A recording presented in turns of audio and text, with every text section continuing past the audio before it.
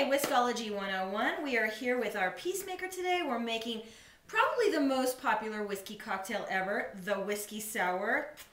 Make you pucka. It's really good. So this is a real traditional, I think about my grandparents in the 50s just knocking back some whiskey sours, you know? So we're going old school. The basic recipe is powdered sugar, sugar, simple syrup, whatever you have. We're going powdered sugar, a little bit of lemon, a little bit of lime, Peacemaker, of course. Shake it up.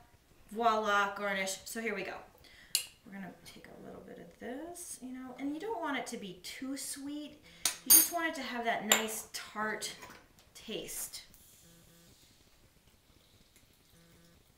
And you can pre-do your lemon juice or buy lemonade, whatever you think. I'm to hand squeeze lime. And really, you know, the beauty of making a cocktail it, is it really is all the flavor. You can make it fizzy, add some soda.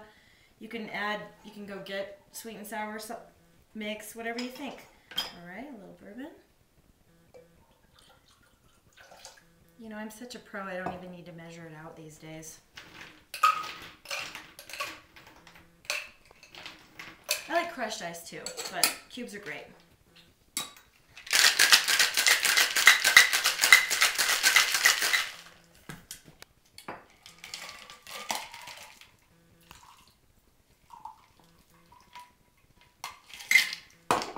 Probably should put some ice in first, but you know, this is this is what you do when you're making drinks on the fly. And you know, this is reality. You'd be doing this in the kitchen anyway with your friends. A little bit of a maraschino cherry. I actually love some fresh cherries too. I mean, this is really super retro, but if you live in an area that has fresh cherries, fantastic. Have a little garnish here. Cheers to the whiskey sour.